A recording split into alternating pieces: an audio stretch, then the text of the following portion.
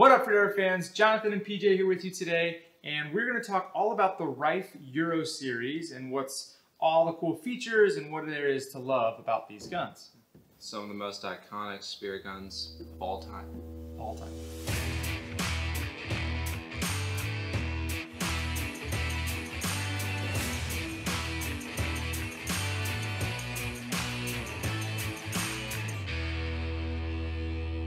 Have you used the Riffe Euro before? I have used one in my Okay, life. okay, one. Okay. So I've shot one of these guys for many, many years, um, and I really like it. It's one of my like go-to, right? Um, I've used all the different rollers that are out there and all the crazy carbons and everything like that. I always find myself coming back to my Riffe Euro. It's just kind of this like, I don't know. It's almost like my my safety net or my, my security blanket that I keep coming back to. Um, but uh, but yeah, so just a little bit about the guns themselves. Obviously, it's a uh, solid wood stock, right? So from the muzzle all the way to the back, uh, the butt stock, you get this solid uh, piece, which is really nice. Um, some of the other guns that are out there, they um, separate like the butt stock from the barrel and put like a handle in the middle. Uh, these Riffe just attaches the handle to to the base plate. Yeah, uh, there are so many little things that Riffe puts into their guns that I like personally about them. Uh, for example, with their Riffe open track, um, I see guys having issues, or I should say they saw guys having issues with putting their shafts back in the track. And one of my favorite things about these guns is they have a little magnet inside the track up here. It's called, they call it the mag track. And so when you're putting the new shaft or the shaft back in the gun to reload, it magnetizes itself and stays in there and slides right in, making it so much easier to uh, put the shaft back in. Like a quicker reload. Yeah, yes, exactly. Sure. And they also not only come with an open track, but they also come with an enclosed track. Which one do you use? So I've got the open track, um, and so they've yeah they've been doing that mag track for for a while, and it is so nice because you can just drop the shaft underneath the bands, and that magnet sucks the shaft to the uh, the gun itself, making re-rigging a lot quicker.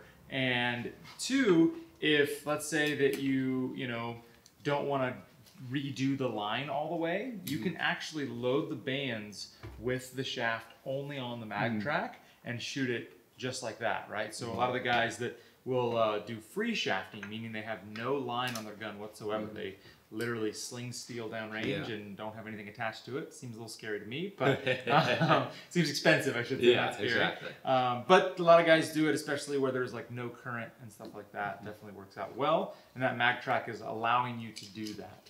Um, what PJ mentioned as far as the enclosed track, uh, maybe only a couple years ago, they started actually adding a, uh, a enclosed track, meaning that it is fully uh, holding onto the top of the shaft. So you could have no line on the gun whatsoever. Flip this guy over. Uh, you could even pull the trigger, have it be not attached to the mechanism, and it would still stay in the gun. And we'll show a little clip of that right now. Um, but really, really cool um, design on the on the guns. Definitely. Uh, another little thing that I really do like about them is that they have kind of this standard short butt for chest loading, and for you hip loaders out there, we have the extended butt, the Euro X, and that kind of sets it apart from a lot of um, base factory guns because a lot of them they come either standard, just like extended butt or Right. short. Right. Um, so having those two different options, um, as far as the extended or the uh, non-extended, is awesome because say you like you really like the gun itself, but you're like, oh, I really like hip loading. You have the option right here, or I really like chest loading only. You have this option right here. So it uh, basically go. The gun is perfect for really anybody as far as they, they like certain things with certain guns. They have basically everything as far as the base right here, right Yeah. here it goes. Heck yeah! And then the nice thing about that too is we've actually got a video showing you the differences of how to load the spear gun. So we'll link that right here. The differences of loading chest loading versus loading hip loading. Um, when you should, when you shouldn't. You know, like you just mentioned, all the different types of styles there. So uh, yeah, really really nice. Um, other little features about the gun. Uh, you've got your safety, right? So back towards you is safe, and forward is fire. Uh, you have a, uh nice rubberized textured grip on that uh, handle as well, so it gives it a nice, good hand feel. It's uh, I've seen some of the grips out there that are really fat, and they're kind of like you don't really get a full uh, grip on the handle, and then I've also seen some that are a little bit too skinny, to where you feel like you're not gripping enough. Uh, I found that the Riffe handle is probably one of the more comfortable ones that I've found out there, uh, which is really nice. Um, so that's kind of cool. And they obviously can replace all these parts. Uh, not that you would ever need to. Um, but speaking of like longevity and replacing parts, right? Um, I actually have my gun um, that has been around forever. Um, so this is, I doesn't look like much, but it is in fact a Riffe Euro. Um, and uh, this is the 110, which is the size uh, range that this is. And you can see there's quite a bit of uh, scars and bumps and scratches and bruises on this thing, but the only thing I've ever replaced is the shaft because I keep shooting big fish and keep bending them. Uh, the bands because they keep, uh, you know, after a year or so I change my bands, keep it nice and fresh. And then uh, I've had the gun so long that the, the rubber itself uh, actually ended up going bad on the buttstock. The handle is still the original handle, and obviously the stock is still the original stock. They've changed the uh, the shape actually. It used to used to route Yeah. uh, over the edges, and now they keep them all nice and square. Um, but other than that, the neck is exactly the same neck that it was in the beginning. I haven't changed it uh, out at all.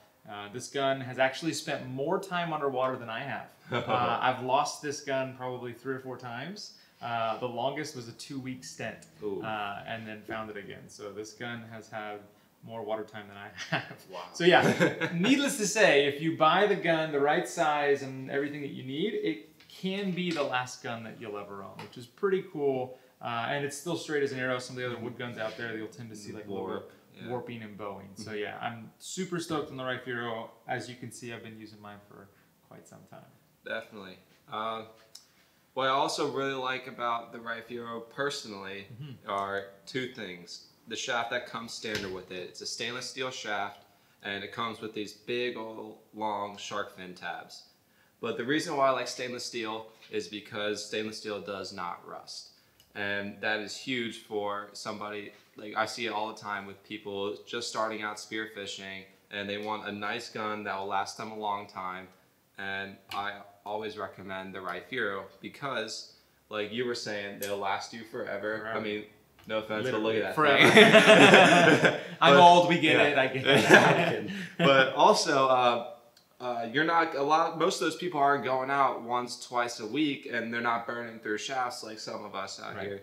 So they want a shaft that will last them a long time. These stainless steel shafts, like I said, will never rust on you, and you can keep them whether you keep it in the boat, in the garage, or I wouldn't recommend keeping it in the boat or in the garage, but it will not rust on you. yeah.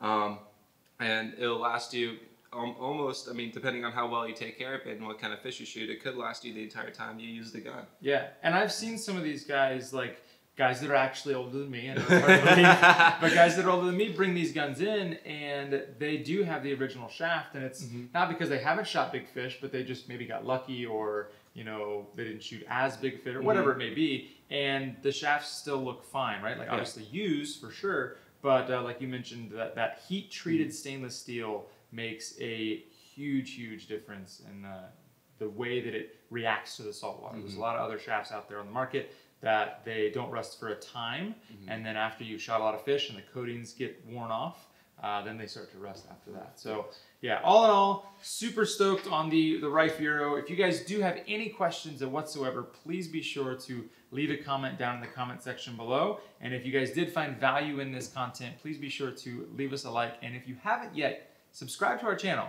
We see you and we would love to get to know you better. So hit the subscribe button and we'll see you guys in the next one.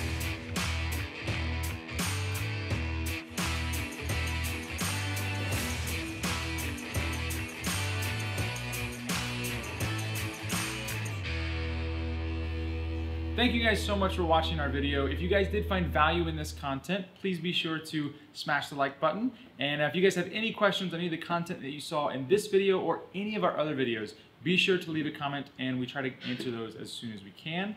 Also, any of the products that you guys did see in this video, you can always check out on our website at flfreedivers.com. See you in the next one.